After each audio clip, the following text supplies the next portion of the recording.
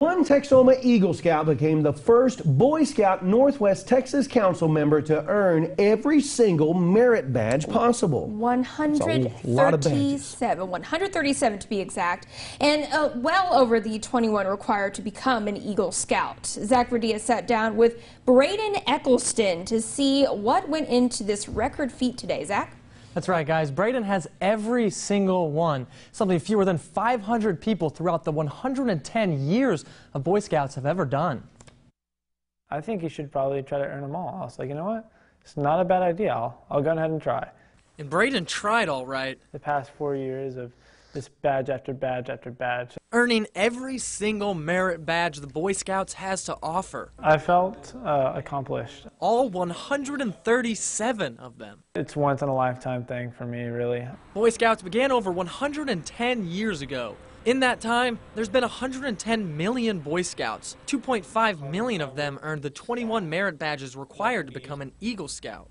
But this is where it really gets impressive. Out of the 2.5 million Eagle Scouts, only 459 have completed this feat of all time. I don't know of another scout in our council's ever achieved anything like that, and I know it's it's a very rare feat. So it was neat to see him go through and grow from from just uh, when I got here in 16 to now. Braden attended summer camps in any event he could earn merit badges over the last six years. Scuba diving, small boat sailing, painting, surveying, and so much more. Knowledge and skills he'll utilize for the rest of his life. He kind of just committed it to memory and you don't really think back to it, but it's because of those merit badges that you know those skills. He couldn't do it all by himself, though. All the help from scouts and leaders of Troop 11, along with his family, did all they could to make this possible. I know I had a lot of help, and without that help, I, I think I'd struggle a whole lot more than I did, and maybe not have earned all 137 merit badges. Every last badge, propelling Braden into Northwest Texas Council history.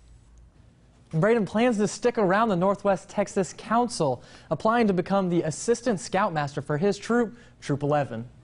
And I was just saying, I think I earned maybe two badges when I was a brownie. So this is incredible. Zach, thank you so much for that story.